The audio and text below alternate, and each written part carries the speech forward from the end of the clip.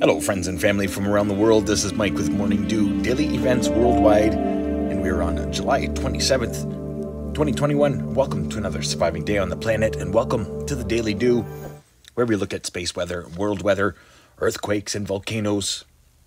Starting out here looking at the sun as it did produce yet another CME and a flare.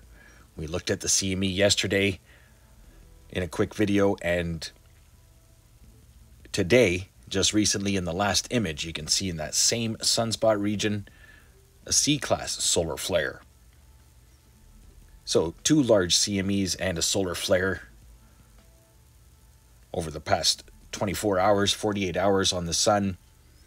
And two of the major events were antipode to each other. Two large plasma filaments there.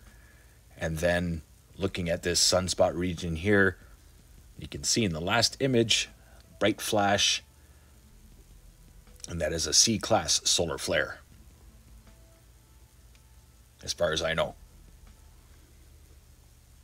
An amazing plasma filament, and it is on ISWA now, so we will be looking at that too.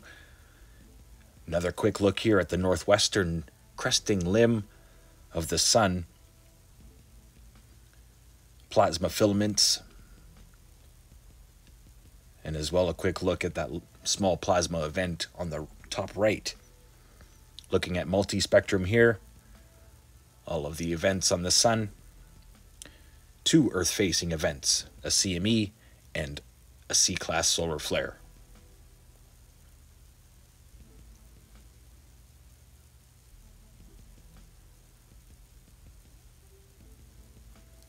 Having a look at another light here,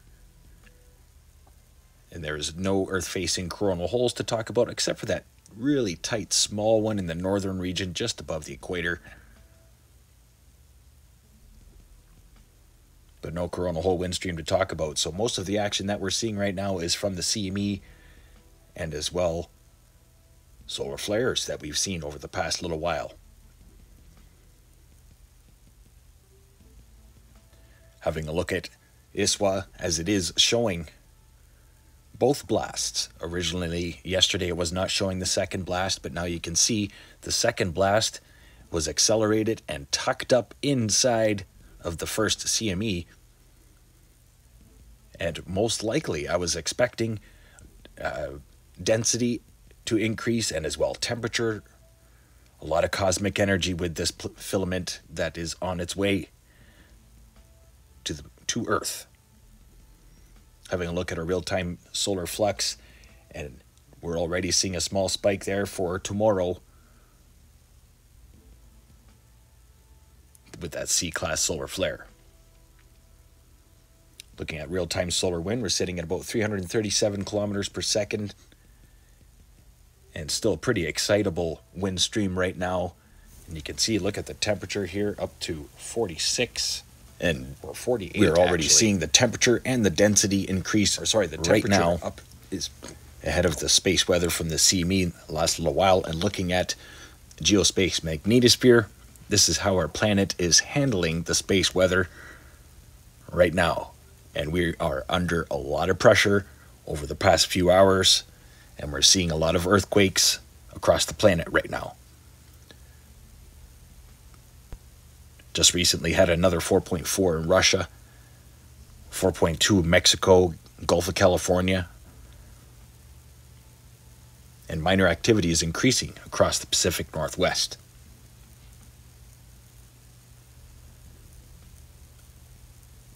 This is the space weather that the sun produces around our planet. And this is the pressure plane. A lot of pressure right now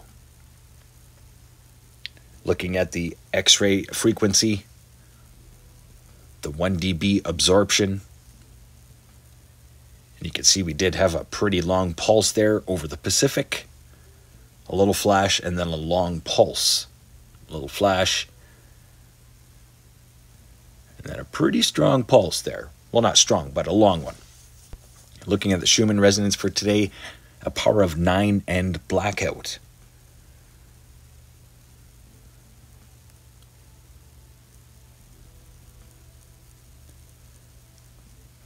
Amplitude of 9 equality. of 5.9. Let's have a look at earthquakes the last 24 hours across the planet.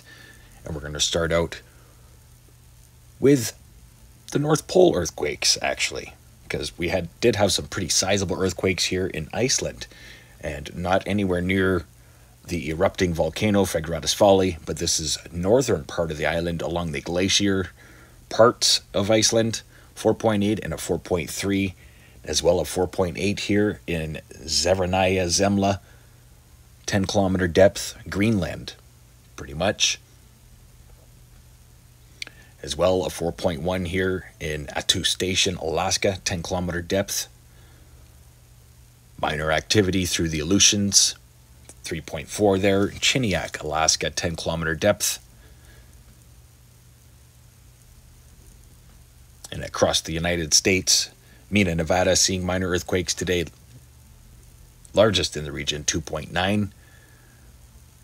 But for more earthquakes, we want to go over here to USGS and have a quick look. And just recently here, 4.2 in Las Grullas Amargan Derecha, Mexico, Gulf of California. We've had quite a few earthquakes the last few days there.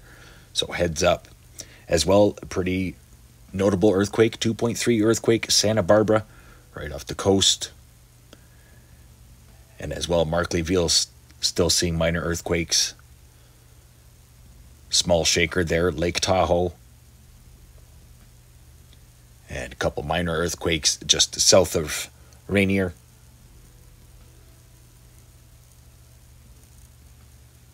and as well into Wenatchee Reserve, Chelan Falls, Washington. Minor earthquakes throughout that region. Nothing major to report in Yellowstone. Notable earthquake here south of the island of Hawaii, 2.0 in Naulu.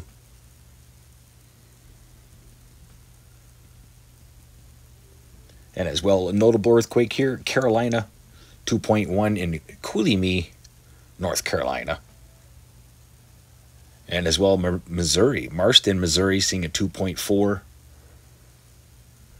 Minor earthquakes there through Oklahoma. And there it is. There's the 4.2 just recently.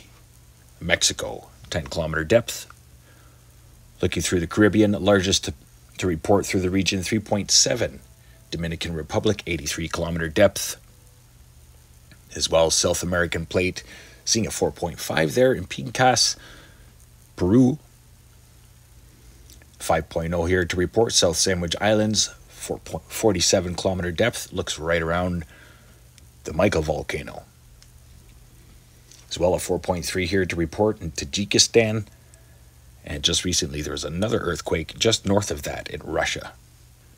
Very quiet through the Philippines and Indonesia plate today. 4.7 there, Volcano Islands region, and as well a deep 354 kilometer depth, 4.4 is South Japan.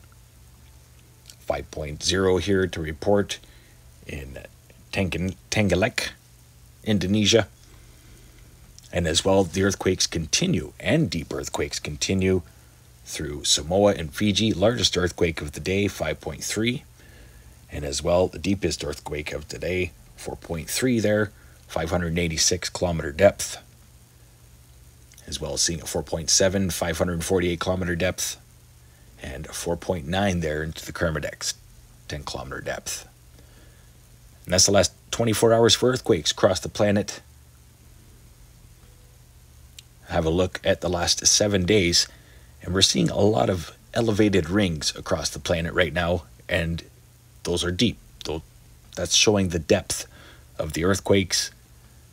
So lots of activity through the North Pole into the Atlantic, and as well the Aleutian Islands into the Pacific. Deep earthquakes, South America, multiple deep earthquakes, Fiji and the Kermadecs. And yeah, very quiet through Indonesia. Deep earthquakes through the Eurasian plate as well. Stay safe, stay aware, and prepared, my friends. This is all about awareness and preparedness. No fear here. Hashtag Dukru, Hashtag no fear here. Have a quick look here at the Pacific Disaster Center showing the most recent volcanoes getting updated, aside from all the fires. Wow. So, uh, Ibu in Indonesia, Reventador in Ecuador, Dukono in Indonesia, Lewotolo as well, Indonesia, Karymsky, Russia, Sangay in Ecuador, Sabancaya in Peru, Suwanosejima in Japan. This is all just in the last six hours, guys. Nevados de Chillán, Fuego in Guatemala, Nevados de Ruiz, Colombia, and Etna in Italy. So that's about 12 volcanoes getting updated today since last night's update. And you can see many fires, floods, storms across this app right now. 146 active hazards. Looking at some flooding conditions through Louisiana as they had some storms pop up today pretty much turning day to night. Some huge storms, supercells formed across the Gulf states today. No new fires to talk about through BC. Tropical storm In-fa is no longer a classified typhoon. And tropical storm Nepartak seems to be losing a lot of its moisture before heading into Japan, which is probably a good thing. Still lots of moisture wrapped up with those systems. Lots of cloud cover across the Pacific right now. No major systems to talk about in the Atlantic. And just observing satellite imagery, large low over Russia there.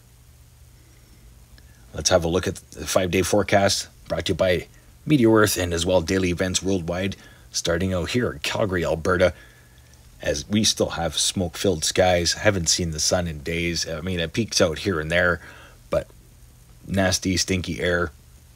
And we've got some moisture apparently trying to move in, but big high pressure blockade is not going to let much of it fall.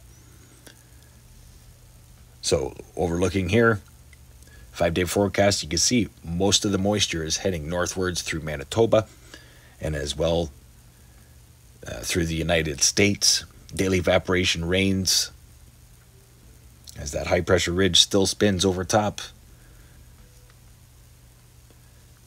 And then watch for a wave of moisture from this pretty deepening low here developing through Ontario, joining forces with another low just south of Greenland, overlooking the Atlantic most likely will have a tropical storm in the long range forecast, probably like in the seven to nine day forecast. But it still depends. It's a pretty dominant high pressure ridge right now over the Atlantic, and it's not really letting much form. Overlooking Europe, another system here moving into France and Spain. Could have some extreme weather with that. Pretty big low moving in and that's an upper level low with many surface level lows. As well, looking through India, watching this low pressure system head westward, bringing most likely flash flooding and extreme weather through India. Same thing here for parts of North Korea with that system, In-fa And then, yeah, wow, Australia, you've got quite a system just south of you guys. It is bigger than your continent, it looks like here on this map. And southwestern parts are going to be receiving quite a wrath with wave after wave of moisture and strong winds. And then watch for this little whippersnapper to form just south of Perth in the long range forecast. You could have a pretty nasty system and as well watch for this to affect southeastern parts and as well Tasmania all week long. Overlooking the Pacific, do have a couple areas of interest moving through the East Pacific, but most likely staying south of Hawaii. Gonna leave you here looking at the southern hemisphere. Big beast of a storm. Thanks for watching today. This has been Mike with Morning Dew, daily events worldwide. Stay aware and prepared, stay young and have fun and get your morning dew. Don't forget to smash that like button. Thanks for watching. Bye bye now.